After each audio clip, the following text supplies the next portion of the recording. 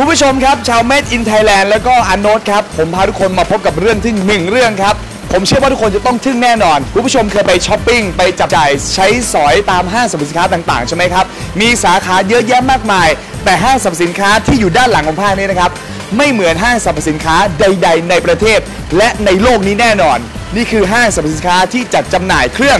สังฆภัณฑ์ ชื่อห้างว่าห้างสังฆภัณฑ์นั่นเอง เดี๋ยวจะเป็นยังไงต้องเข้าไปคุยกับเจ้าของนะครับ แล้วก็ที่ปรึกษาข้างในผมนัดอาจารย์ทั้งสองท่านเอาไว้นะครับ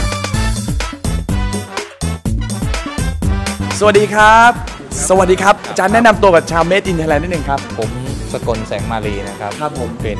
เจ้าของผู้บริหารห้างสรรพสินค้าสังฆภัณฑ์แล้วนี่ท่านอาจารย์พิเชษฐ์ครับ ครับ เป็นที่ปรึกษาครับผม ของห้าง เอาล่ะ ผมถามคำแรกเลยครับ อยากจะรู้ว่า ที่มาของห้างสังฆพันธ์แบบนี้เนี่ยนะฮะมีที่มาที่ไปยังไงครับอาจารย์ ก็ก็ได้ใกล้ชิดพระสงฆ์ได้รับใช้พระครับผู้หลักผู้ใหญ่ ครับเราก็ได้เห็นพฤติกรรมพี่น้องชาวพุทธของเราในประเทศไทยนะ ครับ 90กว่าเปอร์เซ็นต์เป็นชาวพุทธ ครับผมประกอบพิธีทางศาสนากันทุกปี ครับ เราก็เลยปรึกษาหารือกันว่าทำยังไงอะ 2,500 กว่าปี ไม่เคยมีห้าง ไม่เคยมีศูนย์รวมของทำบุญครบวงจรเฉพาะขึ้นมาจริง ครับผม ๆ เลยตัดสินใจที่จะสร้าง ห้างครับห้างสังฆพันธ์ห้างสำหรับของทำบุญครบวงจรครับจผม ริง ๆ ขึ้นมา เป็นแนวคิดของ one stop service ครับ ฉะนั้นใครที่อยากจะทำบุญ ใครที่คิดจะทำบุญให้นึกถึงห้างสังฆพันธ์ตัวนี้เป็นจุดที่เป็นจุดขายสำคัญของเรา งั้นเดี๋ยวผมขอรบกวนอาจารย์ทั้งสองท่านพาพวกเราเนี่ยไปชมนะครับว่ามีอะไรบ้างของนู่นนี่ต่างจากเอ่อร้านขายปกติยังไง ที่ห้างสรรพสินค้าสังกพันธ์เนี่ยนะครับมีสิ่งของเครื่องใช้ต่างๆ มากมาย เห็นแล้วตาลายเลยเลยครับ แต่ที่สำคัญเขามีแผนกต่างๆครับเพื่อแยกประเภทของหมวดสินค้าเหมือนกับห้างต่างๆ ไว้ได้อย่างชัดเจนเลยเลยครับ ซึ่งดูจากสินค้าที่เห็นอยู่นี้เนี่ยนะครับเขาก็แบ่งได้ถึง 30 แผนกด้วยกัน สินค้าเกือบหมื่นรายการเลยเลยครับ เวลามาซื้อก็เพียงแต่หยิบรถเข็นมา แล้วก็เลือกช็อปได้ตามสบายเลย ตรงนี้เป็นแผนกอะไรครับ นนี้เป็นแผนกพระพุทธรูป หรือพระบูชาขนาดใหญ่ มีพระอะไรบ้างครับตรงนี้ ที่นิยมก็ครับคือพระปางสุโขทัยแล้วก็จะมีพระพุทธชินราชหลวงพ่อโสธรครับนะครับเป็นเป็นที่นิยมโอ้ตรงนี้มีสังฆทานเยอะแยะมากมายเลยฮะ อันนี้เป็นชุดใหญ่ของเรา ครับผม ซึ่งก็จะมีครบวงจร ครับ รายละเอียดก็จะมีนี่เป็นชุดสังฆทานประจำวันเกิดชุดประจำวันเกิด มีรายละเอียดเยอะมากครับที่ประจำวันเกิดวันอาทิตย์สี แดงนะครับครับผม ถ้าเป็นสีชมพูก็จะเป็นวันวันอังคารนะครับ สีเหลืองก็จะเป็นวันจัจันทร์อะไรอ่านะครับ เราแยกให้เขียวนะครับครับโอ้โหมีมีหมดเลยครับ ของเรามีความต่างจากที่อื่นก็คือว่าผม เราทำสดใหม่ ถ้าเหมือนกับของก็แพ็กเกจกันใหม่ ๆ ทุกวันครับผมนะครับ มีการบันทึกไว้เลยว่า 10 พฤษภาคม2556คือแพ็กนี้ทำครับผม สามารถที่จะอยู่ได้เนี่ยถึง 19 เมษายน2557 ส่วนเรื่องราคาสิ่งของเครื่องใช้นั้นไม่ต้องกังวลครับว่าจะถูกหรือว่าจะแพง เพราะอาจารย์สกลนะครับเล่าให้ฟังว่าสินค้าที่นี่เนี่ยเป็นราคากลางๆ ไม่สูงไม่ต่ำจนเกินไป และก็มีป้ายราคาติดไว้กับตัวสินค้าทุกชิ้น เพราะฉะนั้นก็ไม่ต้องห่วงเรื่องจะต้องต่อรองราคาสินค้าครับถ้าเกิดต่อเก่งก็ได้ถูก ต่อไม่เก่งก็ได้ราคาสูงอะไรแบบนี้แหมเรียกว่ายุติธรรมกันสุดๆเลยละครับคุณผู้ชม มาถึงอีกหนึ่งแผนกครับถือว่าเป็นแผนกที่สำคัญเลยทีเดียวนะครับ เพราะว่าชายไทยทุกคนเนี่ยนะครับจะต้องทำพิธีกรรมนี้โดยทั้งหมดแน่นอนนั่นคือแผนกของ เครื่องบวชครับ ใครที่ยังไม่เคยบวชเนี่ยคงไม่รู้ว่าจะต้องใช้อุปกรณ์อะไรบ้าง สิ่งที่จำเป็นหลักๆ เลยในแผนกของเครื่องบวชที่ขาดไม่ได้จริง ผ้าไตรครับๆผ้าไตรแบบนี้ถ้าไม่มีไตรก็บวชไม่ได้ครับผมตลปัดย่าม ครับ แล้วอีกอย่างหนึ่งที่ขาดไม่ได้ก็คือครับ บาท อ่าบาทพระครับ ที่ผมเห็นแบบนี้นี่คือนี่คือนี่คือสัพพะทนสัพพโทนนะครับ พานแว่นฟ้า ดอกไม้ครอบไตรอะไรต่างๆครับผม ก็เพิ่มความสวยงามหลากหลายอันนี้ไป เพิ่มเข้าไป เราไปถึงอีกหนึ่งแผนกดีกว่าครับ นะครับแผนกนี้ต้องขออนุญาตครับ หลายๆ คนคงเคยเอ่อร่วมพิธีกรรมแบบนี้นะครับ นั่นคือ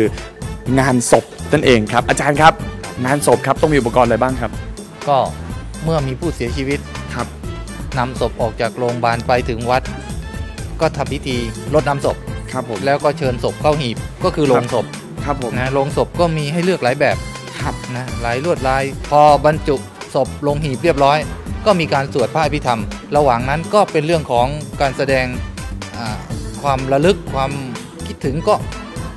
พวงหลีดในวันเผา ที่จะเผาครับแล้วทุกคนก็ขึ้นไปวางดอกไม้จันทร์ดอกไม้จันทร์ใช่มีโกดบรรจุอัฐิมีลุ้งลอยอังคารครับนะครับ ต่อไปเป็นแผนกของการสะเดาะเคราะห์อ่าผมเชื่อว่าทุกคนชอบนะฮะไปดูกันครับว่าเครื่องสะเดาะเคราะห์เนี่ยใช้อะไรบ้าง สะเดอกเคราะห์ต้องทำยังไงบ้างครับอาจารย์ เวลาคนที่ไปดูหมอครับหรือพระท่านทักมาว่าครับช่วงนี้ดวงดวงไม่ค่อยดีครับก็ให้ไปสะเดาะเคราะห์ส่วนใหญ่ก็จะ มาเลือกเอาตัวของพระพุทธครับที่เป็นพระพุทธรูปซึ่ง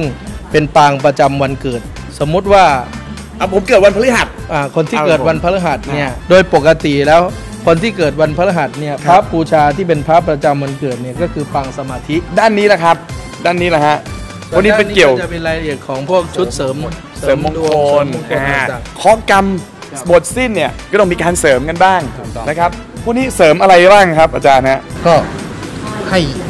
เออให้โชคดีมั่งมีสีสุขให้เจริญครับรุ่งเรืองผมร่ำรวยนะคอ่ารับ เมื่อกี้เนี่ยนะฮะอาจารย์ทั้งสองท่านโอ้โหเป็นเกียรติมาก พาพวกเราไปดูทุกอย่างเลยฮะ หมวดหมู่นะครับแผนกต่างๆ คราวนี้รู้ทุกอย่างแล้วครับ ไม่รู้อยู่เรื่องเดียวครับอาจารย์ ครับ ไม่รู้เรื่องครับ ไม่รู้จะทำยังไง จะขึ้นบ้านใหม่ทั้งทีอุปกรณ์ก็ครบแล้วความรู้ไม่มีจริงๆอาจารย์ไม่รู้จะไปปรึกษาใครครับอาจารย์ช่วยบอกแนะนำได้ไหมครับว่าผมไปปรึกษามีมีเออเขาเรียกว่าศูนย์แบบปรึกษาจริงๆไหมครับมีครับที่ไหนครับอาจารย์ที่ห้างสรรพสินค้าสังกพันธ์แห่งนี้นะคอ้ารัวบที่นี่เหรอครับอาจารย์ถูกต้องครับ เราไม่ใช่ขายของทำบุญอย่างเดียว โอ้ไม่ได้ขายอย่างเดียว แต่เราเป็นออแกไนซ์ผู้เชี่ยวชาญรับจัดงานทำบุญทุกชนิด เราเป็นผู้เชี่ยวชาญสาธารณพิธีครับ ก็เรียกว่าใครที่คิดจะจัดงานบุญนะครับ เวลาจัดงานไม่ต้องทำอะไรเลย มีหน้าที่ในการแค่จุดธูปเทียนเวลาเป็นประธานในพิธีเท่านั้นเอง ส่วนที่เหลือนั่งเฉยๆครับ เดี๋ยวเขาจัดให้หมด โอ้โห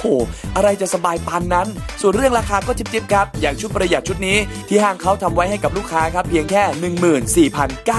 14,999 บาทเท่านั้นเอง อีกหนึ่งอย่างครับเป็นหนึ่งจุดที่ผมเชื่อว่าเป็นสถานที่ที่ทำให้รู้สึกว่าเป็นห้างสรรพสินค้าจริง ๆ นั่นก็คือจุดของการบริการชำระเงินนั่นเอง ครับ ใช่ไหมครับ มีความพิเศษยังไงครับตรงนี้ฮะ ครับก็คือ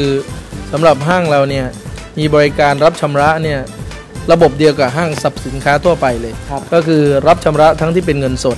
แล้วก็รับชำระที่เป็นบัตรเครดิตครับผม นะครับ แต่ก็มีสินค้าบางประเภทนะครับที่ต้องบอกว่าถูกกว่าในท้องตลาดทั่วไปอีก อย่างเครื่องสังฆทานที่คุณผู้ชมเห็นอยู่นี้ ก็มีหลายขนาดหลายราคา ถูกสุดก็อยู่ที่ประมาณร้อยกว่าบาทครับจนไปถึง 5,000 กว่าบาทเท่านั้นเอง ส่วนแจกันเบญจรงค์หรือว่าจะเป็นเชิงเทียนที่เห็นอยู่นี้เนี่ยนะครับขายไม่เกิน 2,000 บาทครับถูกกว่าร้านที่ขายกันในห้างเป็นพันๆเลยทีเดียว เดี๋ยวเราไปคุยกับผู้ที่มาใช้บริการที่ห้างสังกพันธ์กันนิดนึงดีกว่าครับมาเลยครับ สวัสดีครับพี่พี่ๆสวัสดีครับ สวัสดีครับโอ้โหกำลังช้อปปิ้งอยู่เลย พี่คิดว่าที่นี่เนี่ยเหมือนห้างสรรพสินค้าไหมครับ เหมือนนะ เหมือนเหรอเหมือนยังไงเหมือนยังไงพี่ เพราะว่าเพราะว่าคือหมายถึงว่าอย่างสมมติอย่างเราไปห้างใช่ไหมคะครับเราก็จะมีของทุกอย่างเลย ก็เหมือนกับที่นี่ถ้าเกิดสมมติเราจะไปทำบุญหรือทำอะไรที่แบบเกี่ยวกับวัดอย่างทำบุญไม่ว่าจะขึ้นบ้านใหม่หรือคือเขาก็มีครบหมดเลยอะ คุณผู้ชมที่มาชอบเครื่องสังกพันธ์ที่ห้างแห่งนี้ และไม่ได้เอารถมาก็ไม่ต้องกังวลนะครับเพราะที่ห้างนี้เนี่ยก็มีบริการรับส่งด้วย นะเรียกได้ว่าบริการกันสุดๆเลยครับ จะใกล้หรือว่าจะไกลจัดกันให้ถึงที่เลย ที่สำคัญครับฟรีในรัศมี 20 กิโลเมตรด้วยนะครับเนื่องจากวันนี้ครับเรามาที่ห้างสังกพันธ์แห่งนี้เนี่ยนะครับเราก็มีคำถามนะครับที่จะให้กับคุณผู้ชมชาวเมดินไทยแลนด์ได้มาร่วมสนุกกันนะครับให้อาจารย์เป็นคนถามแล้วกันนะครับ ถามว่าห้างที่ขายของทำบุญครบวงจรแห่งนี้ชื่อว่าห้างอะไร นี่นะครับ ชื่อว่าห้างอะไรตอบมาเลยครับห้าสายแรกนะครับ รับสังฆทาน ยารักษาโรคไปนะครับสายละ 1 รางวัล 5 สายเท่านั้นครับอ๋อเอาละครับคุณผู้ชมครับ ตอนนี้ผมก็ช้อปปิ้งของเรียบร้อยแล้วครับทำบุญขึ้นบ้านใหม่ ยังไงวันนี้ก็ฝากไว้ด้วยแล้วกันนะฮะอย่าลืมครับห้างสังกพันธ์แห่งนี้นะครับมากันได้เปิดทุกวันครับแต่วันนี้ขอตัวกลับสตูก่อนนะครับบ๊ายบาย